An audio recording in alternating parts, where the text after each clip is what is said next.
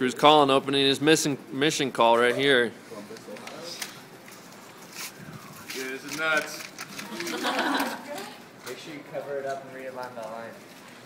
Which side is it on? It's the back page. I'm nervous. It's the mouse front page.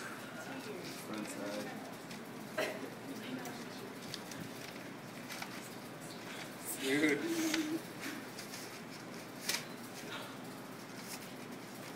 There you go. Okay.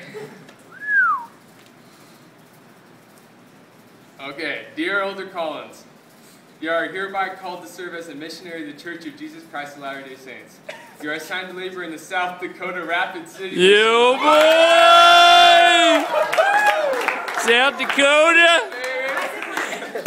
It is Woo! that you will serve for a period of 24 months.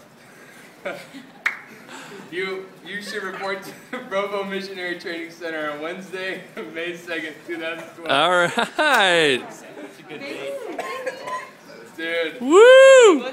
South Dakota Rapid City mission. I think, uh, What do you speak? Is it English? dude, I'm speaking Spanish. Woo! Habla español. Gospel Spanish.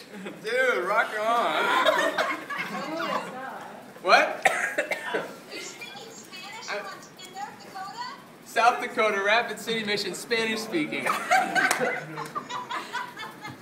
Dude, that's unheard of. That's nuts. Yeah, Kruse Booth. Yeah.